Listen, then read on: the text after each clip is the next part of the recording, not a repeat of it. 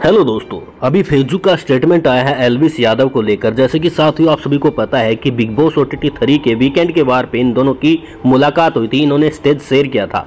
तो वहाँ पर यहाँ पर एलविस यादव ने फेजू को रोस्ट कर दिया था और फेजू भी इन्हें ट्राई किया था भी रोस्ट करे, लेकिन यहाँ पर एलविस यादव ने कुछ ज़्यादा ही रोस्ट कर दिया था फेजू को। तो अभी इस पर फेजू का भी रिप्लाई आया है और अपने चैनल पर उन्होंने एक वीडियो डाला है, जिसमें उन्होंने एलविस यादव के साथ हुए इंसिडेंट यानी कि एलविस यादव के साथ जो उनका मिलाप हुआ था उसके बारे में बताया है और क्या क्या उन्होंने कहा है तो सबसे पहले आप देखिए पहले ये क्लिप। सही वाइब था और हमने स्टेज शेयर किया साथ में। हम दोनों को नहीं पता था कि हमारा फेस ऑफ़ होने वाला है, हमें बहुत कम टाइम पहले पता चला।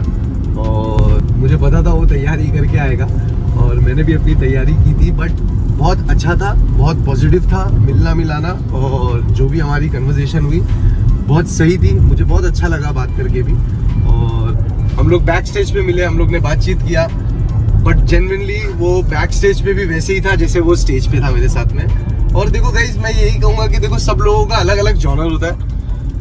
तो वो अपने अपने जॉनर में एक्सपर्ट होते हैं। तो मुझे ऐसा लगता है कि यार, वो बहुत एक्सपर्ट है उसके जॉनर में तो कहीं वो मुझे कुछ ऐसी चीज़ ना बोल दे जो मुझे बुरी लग जाए बट मैं फेस पे नहीं लाता हूँ। मैं कोशिश यही करता हूँ कि जो भी मुझसे मिल के जाए, वो मुस्कुरा के ही मिल के जाए और वो बंदा जेनविन था।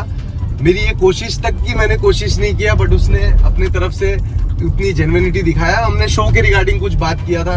बहुत अच्छी हमारी बातचीत हुई थी। अभी हम गाइज़ आते हैं। तो ही आपने क्लिप तो देख लिया है तो इस आपकी क्या राय है? आप अपनी राय कमेंट में ज़रूर रखना और क्या फेजू और ये एलविश यादव बाद में दोस्त बन सकते हैं? आप अपनी राय ज़रूर रखना।